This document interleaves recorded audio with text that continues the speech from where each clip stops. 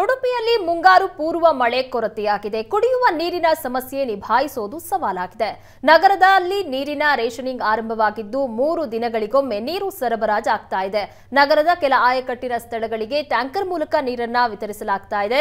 ರಾಜ್ಯದಲ್ಲಿ ಅತಿ ಹೆಚ್ಚು ಮಳೆ ಬೀಳುವ ಜಿಲ್ಲೆಯಲ್ಲಿ ಮೇ ತಿಂಗಳಲ್ಲಿ ಟ್ಯಾಂಕರ್ ಮೂಲಕ ನೀರು ಸರಬರಾಜು ಮಾಡ್ತಾ ಇರೋದು ದುರಂತವೇ ಸರಿ. ಈ ಕುರಿತು ನಮ್ಮ ಉಡುಪಿಯ ಪ್ರತಿನಿಧಿ ನಡೆಸಿರುವಂತಹ ಪ್ರತ್ಯಕ್ಷ ವರದಿ ಇಲ್ಲಿದೆ ನೋಡಿ.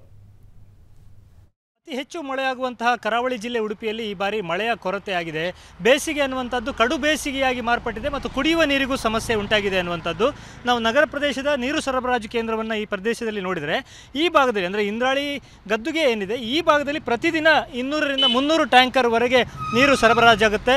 ನಗರದ ಬೇರೆ ಬೇರೆ ಭಾಗಗಳಿಗೆ ಇಲ್ಲಿಂದ ಟ್ಯಾಂಕರ್ ಮೂಲಕ ನೀರು ಸರಬರಾಜು ಮಾಡಲಾಗುತ್ತೆ. ನಾವು ನೋಡ್ಬೋದು ನಾವಿಲ್ಲಿ ಶೂಟಿಂಗಿಗೆ ಬಂದ ಸಂದರ್ಭದಲ್ಲೇ ಹತ್ತಾರು ಗಾಡಿಗಳು ಓಡಾಡ್ತಾ ಇವೆ. ಸೊ ಪ್ರತಿದಿನ ಮುನ್ನೂರರಷ್ಟು ಟ್ಯಾಂಕರ್ ಕೇವಲ ಈ ಒಂದು ಪ್ರದೇಶದಿಂದ ಹೋಗ್ತಾ ಇದೆ ಅನ್ನುವಂಥದ್ದು ನೀರಿನ ಬೇಡಿಕೆ ಯಾವ ರೀತಿ ನಿರ್ಮಾಣ ಆಗಿದೆ ಅನ್ನೋದರ ಸಂಕೇತ ಅಂತಲೇ ಹೇಳಬೇಕು. ಕಳೆದ ವರ್ಷಕ್ಕೆ ಹೋಲಿಸಿದರೆ ಓಕೆ ಅನ್ನುವಂಥ ಪರಿಸ್ಥಿತಿ ಇದೆ. ಆದರೂ ಕೂಡ ಮಳೆ ಇನ್ನು ಬರದೇ ಹೋದರೆ, ಸಕಾಲದಲ್ಲಿ ಮಳೆ ಬೀಳದೆ ಹೋದರೆ ಕುಡಿಯುವ ನೀರಿಗೆ ಮತ್ತಷ್ಟು ಸಮಸ್ಯೆ ಆಗುವಂಥ ಎಲ್ಲ ಸಾಧ್ಯತೆಗಳಿವೆ. ಹವಾಮಾನ ಇಲಾಖೆ ಈಗಾಗಲೇ ಎಲ್ಲೋ ಅಲರ್ಟನ್ನು ಘೋಷಿಸಿ ಮೂರು ದಿನ ಆಯಿತು.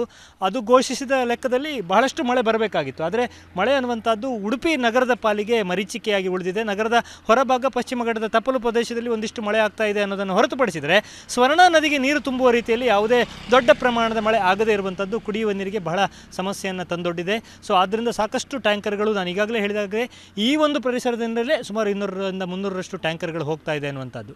ಮತ್ತೊಂದು ಕಡೆ ನಗರದಲ್ಲಿ ನೀರಿನ ರೇಷನಿಂಗ್ ಕೂಡ ಶುರುವಾಗಿದೆ. ಅಂದರೆ ಎರಡು ಮೂರು ದಿನಕ್ಕೊಮ್ಮೆ ಮಾತ್ರ ನೀರನ್ನು ಬಿಡ್ತಾರೆ. ಹಾಗೆ ಬಿಟ್ಟಂತಹ ಸಂದರ್ಭದಲ್ಲಿ ಎತ್ತರದ ಪ್ರದೇಶಗಳು, ನಗರದ ಎತ್ತರದ ಪ್ರದೇಶಗಳಿಗೆ ನೀರು ಸರಬರಾಜು ಸಮರ್ಪಕವಾಗಿ ಆಗ್ತಾ ಇಲ್ಲ. ಅಂಥ ಜಾಗಗಳಿಗೆ ಟ್ಯಾಂಕರ್ ನೀರನ್ನು ಸರಬರಾಜು ಮಾಡುವಂಥ ವ್ಯವಸ್ಥೆ ಆಗ್ತಾ ಇರುವಂಥದ್ದು ಸೊ ನಗರಸಭೆಗೆ ನೀರಿನ ನಿರ್ವಹಣೆ ಅನ್ನುವಂಥದ್ದು ಬಹಳ ದೊಡ್ಡ ಸವಾಲಾಗಿ ದಿನದಿಂದ ದಿನಕ್ಕೆ ಮಾರ್ಪಾಟು ಆಗ್ತಾ ಇದೆ. ಸರಿಯಾದ ಮಳೆ ಬರದೇ ಹೋದರೆ ಹವಾಮಾನ ಇಲಾಖೆಯ ಸೂಚನೆಯಂತೆ ಮಳೆ ಬರುವ ಲಕ್ಷಣಗಳು ನಮಗೆ ಎರಡು ದಿನದಲ್ಲಿ ಕಂಡು ಬಂದಿಲ್ಲ. ಇನ್ನೂ ಕೂಡ ಮಳೆಯ ಕೊರತೆ ಆದದ್ದೇ ಆದರೆ ಕುಡಿಯುವ ನೀರಿಗೆ ಮತ್ತಷ್ಟು ಸಮಸ್ಯೆ ಮತ್ತು ನಗರಸಭೆಗೆ ಈ ಹಿಂದಿನ ವರ್ಷಗಳಂತೆ ಸವಾಲಾಗುವಂಥ ಎಲ್ಲ ಲಕ್ಷಣಗಳು ಕಂಡು ಬರ್ತಾ ಇದೆ. ಈಗಾಗಲೇ ಸುಮಾರು ಇನ್ನೂರು ಮಿಲಿಮೀಟರ್ನಷ್ಟು ಮಳೆ ಈ ಮಾಸಾಂತ್ಯಕ್ಕೆ ಆಗಬೇಕು ಅನ್ನುವಂಥದ್ದು.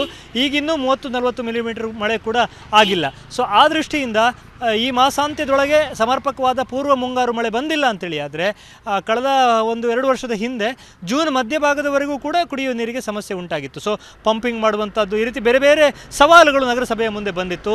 ಸೊ ಅದೇ ರೀತಿಯ ಚಿತ್ರಣಗಳು ನಮಗೆ ಕಾಣ್ತಾ ಇದೆ. ಇಲ್ಲಿ ಟ್ಯಾಂಕರ್ಗಳೇನು ಓಡ್ತಾ ಇದೆ, ಒಂದು ನಗರಸಭೆಗೆ ಪೂರೈಕೆ ಮಾಡೋದಾದರೆ ಇನ್ನು ದೊಡ್ಡ ದೊಡ್ಡ ಮಟ್ಟದಲ್ಲಿ ಹೋಟೆಲ್ಗಳು, ಲಾಡ್ಜ್ಗಳೇನಿವೆ, ಖಾಸಗಿಯಾಗಿ ಅವುಗಳಿಗೆ ಸರಬರಾಜಾಗುವಂಥ ಕೆಲಸ ನಿರಂತರವಾಗಿ ಈ ಭಾಗದಿಂದ ಆಗ್ತಾ ಇದೆ. ನೀರಿನ ನಿರ್ವಹಣೆ ಅನ್ನುವಂಥದ್ದು ಉಡುಪಿ ಜಿಲ್ಲೆಗೆ ಒಂದು ಸವಾಲಾಗ್ತಾ ಇದೆ ಅನ್ನುವಂಥದ್ದೇ ಒಂದು ಬೇಸರದ ಸಂಗತಿ. ಯಾಕಂದರೆ ಅತಿ ಹೆಚ್ಚು ಮಳೆ ರಾಜ್ಯದಲ್ಲಿ ಎಲ್ಲಿ ಬೀಳುತ್ತೆ ಕೇಳಿದರೆ ಮುಂಚೆ ಎಲ್ಲ ಆಗುಂಬೆ ಅಂತ ಇದ್ದರು ಈಗ ಹಾಗಲ್ಲ. ರಾಜ್ಯ ಮಾತ್ರ ಅಲ್ಲ, ಕೆಲವೊಮ್ಮೆ ದೇಶದಲ್ಲಿ ಅತಿ ಹೆಚ್ಚು ಮಳೆ ಬೀಳುವ ಪ್ರದೇಶವಾಗಿ ಉಡುಪಿ ಗುರುತಿಸಿಕೊಳ್ಳುತ್ತೆ. ಆದರೆ ಇಲ್ಲಿ ಏಪ್ರಿಲ್ ಮೇ ತಿಂಗಳು ಬಂದರೆ ಕುಡಿಯುವ ನೀರಿಗೆ ಸಮಸ್ಯೆ ಆಗುತ್ತೆ ಅನ್ನುವಂಥದ್ದು ಒಂದು ಜನರ ವೈಜ್ಞಾನಿಕವಾಗಿ ನೀರಿನ ನಿರ್ವಹಣೆ ಮಾಡ್ತಾ ಇಲ್ಲ ಅನ್ನುವಂಥದ್ದು ಮತ್ತು ನಗರಸಭೆ, ನಗರಾಡಳಿತ, ಜಿಲ್ಲಾಡಳಿತಗಳ ವೈಫಲ್ಯ ಅಂತಲೂ ಹೇಳ್ಬೋದು. ಹಾಗೂ ಹೀಗೂ ಹರಸಾಹಸ ಪಟ್ಟು ಒಂದಿಷ್ಟು ಎಚ್ಚರಿಕೆ ಕೈಗೊಂಡಿರೋದ್ರಿಂದ ಹಿಂದಿನ ವರ್ಷಗಳಿಗೆ ಹೋಲಿಸಿದರೆ ಬೆಟರ್ ಅನ್ನುವಂಥ ಪರಿಸ್ಥಿತಿ ಇದೆ. ಆದರೆ ಮಳೆ ಬರದೇ ಇದ್ದರೆ ಪರಿಸ್ಥಿತಿ ಇದೇ ರೀತಿ ಮುಂದುವರೆದರೆ ಕುಡಿಯುವ ನೀರು ಅಂತ ನೀರಿನ ಸಮಸ್ಯೆ ಅನ್ನುವಂಥದ್ದು ಬಹಳ ದೊಡ್ಡ ಗಂಭೀರ ಸಮಸ್ಯೆಯಾಗಿ ಕರಾವಳಿಯಲ್ಲಿ ಮಾರ್ಪಡಲಿಕ್ಕಿದೆ. ಉಡುಪಿಯಿಂದ ಕ್ಯಾಮರಾಮನ್ ಹರೀಶ್ ಜೊತೆಗೆ Shashidhar Masti Bailu Asianet Suvarna news.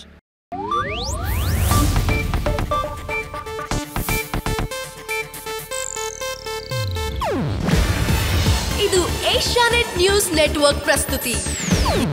ನೀವು ನೋಡ್ತಿದ್ದೀರಾ ಏಷ್ಯಾನೆಟ್ ಸುವರ್ಣ ನ್ಯೂಸ್.